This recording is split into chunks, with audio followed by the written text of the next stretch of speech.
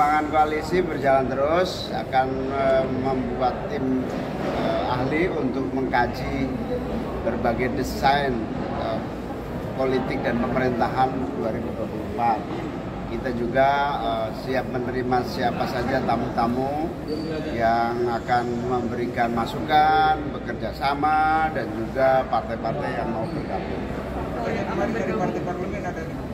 Sampai hari ini belum, tetapi uh, pembicaraan secara tertutup terus kita lakukan. Yang akan berkunjung kembali ke Sekber, kira-kira partai apa? Belum, masih akan ada segera, tapi kita belum bisa pastikan.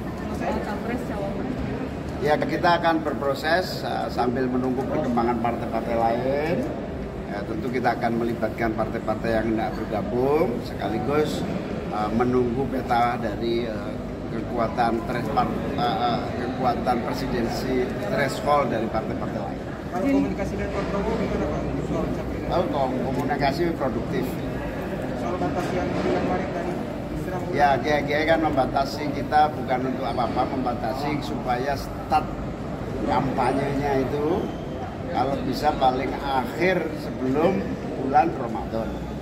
Karena di bulan Ramadan itu nanti adalah bulan-bulan di mana sangat efektif untuk berkampanye. Sehingga kita berharap sudah ada keputusan siapa capres, siapa cawapres itu para kiai-kiai berharap sebelum Ramadan. Termasuk deklarasi sebelum Ramadan.